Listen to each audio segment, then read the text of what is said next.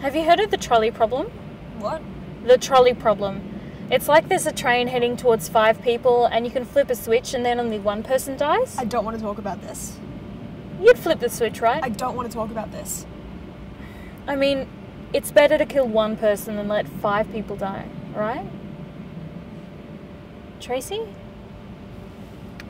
Melbourne police are urging a driver to turn himself in after a fatal hit and run in the city's east. W- would you do it? Why are we even talking about this?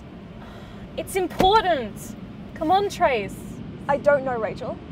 But, I mean, you must have an opinion, right? Look, I wouldn't hit the switch.